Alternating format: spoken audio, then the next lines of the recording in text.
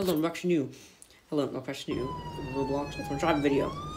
So, uh, we're, we're going to, uh, do this race where you can earn a McLaren, because some games are letting you earn this McLaren car in your game.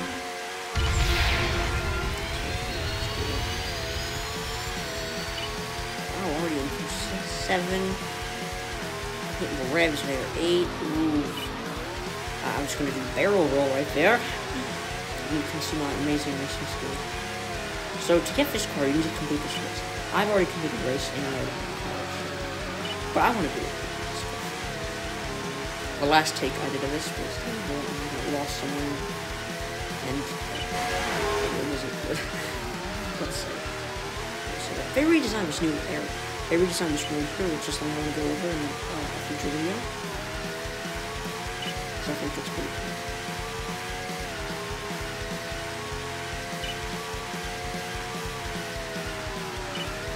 Is the thing is, I went up there. I like flew up there, and I'm staying in course mostly this this round. Apparently, I'm traveling at zero miles per hour because the speedometer is broken. It doesn't have any headlights or turning signals or hazards or anything like that. All it has is this brake light, which actually works, and yeah, that's awesome.